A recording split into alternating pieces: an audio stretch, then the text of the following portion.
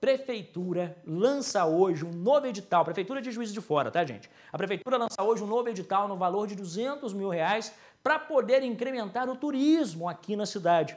O objetivo é contribuir para a retomada do setor né, que estava aí num desaquecimento causado pela pandemia da Covid-19.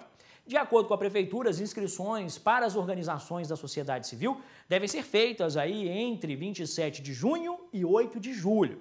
Já as pessoas jurídicas, que são sem fins lucrativos e que estão aí né, ativas, registradas há pelo menos um ano, podem se inscrever no máximo em cinco projetos, viu?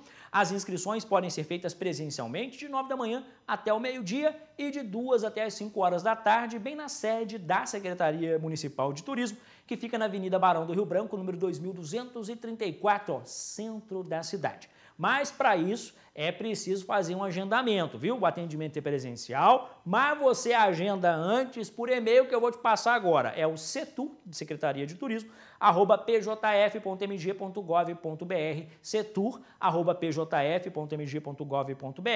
Dá para se inscrever também pela plataforma Prefeitura Ágil, viu? Que fica no site da Prefeitura de Juiz de Fora. Você faz as inscrições online que vão até às 23 horas e 59 minutos do dia 8 de julho.